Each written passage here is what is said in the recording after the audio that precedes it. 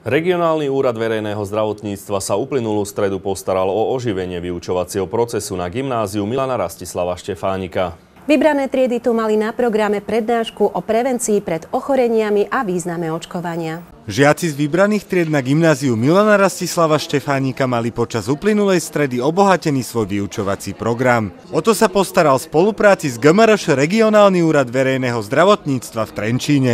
Prednáška bola zameraná na prevenciu pred rôznymi ochoreniami a s tým spojené očkovania. Že je to pre žiakov veľmi e, dôležité aj z takto z povolaných rúk sa dozvedieť e, potrebné informácie. E, v rámci našeho školského vzdelávacieho programu máme tieto témy zahrnuté v rámci hodín biológie v rôznych ročníkoch, predovšetkým však pri biológii človeka. Aj keď sú tieto témy zahrnuté do vyučovacieho procesu, práve tieto prednášky majú žiakom priniesť iný pohľad na túto problematiku. Všetko, čo rozprávame, je vlastne o povinnom očkovaní, ktoré sú to ochorenia, ktoré sú preventabilné, čiže dá sa proti nim niečo robiť.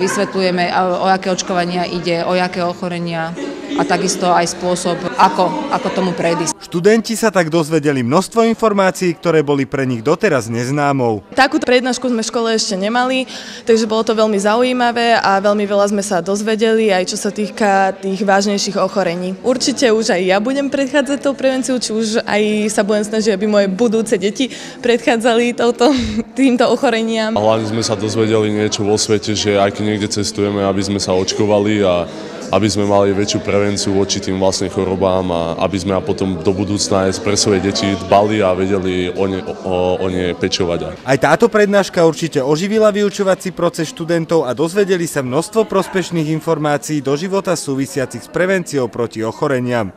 David Cvitač, televízia Pohoda.